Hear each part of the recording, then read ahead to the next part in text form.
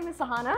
Uh, I am head of product at Wild AI, which is a fitness app that helps women train, fuel, and recover according to their changing physiology.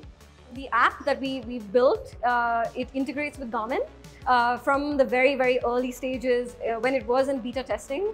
Uh, we integrated with Garmin users because uh, these were the most active people and we saw very, very high engagement rates. Garmin is such an amazing partner, uh, I would say.